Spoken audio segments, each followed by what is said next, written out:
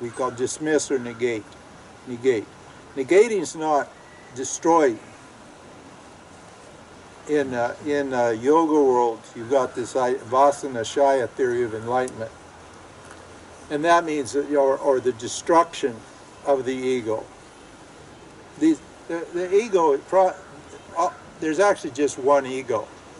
It's not that there are a whole lot of different egos. You think there are a whole lot of different egos because there's whole lot of different bodies, but actually there's only one ego. So it's just the same ego in everybody. Yeah? Yeah. It's a ego's a principle. It's not uh, it's not a person. Ego's a principle that what? That everyone enjoys that that ego. This is why ego is a joke. Because, you know, the ego thinks that what? It's unique and special. When it's not. It behaves totally predictably. You say yes, I say no. You say goodbye, I say hello, hello, hello. Right? It's totally predictable. It's like a child. The ego is exactly, in fact, the ego is that child that's part of you.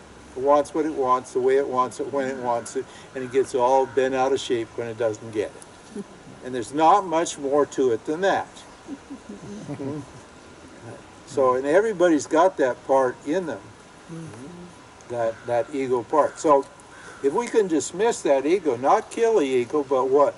Understand that it's actually non-existent or apparently non-existent, then we can what? Set ourselves free of this samsara. Because the samsara is just the ego and its desires and the actions that are produced by its desires. It keeps it on that wheel of what? Time.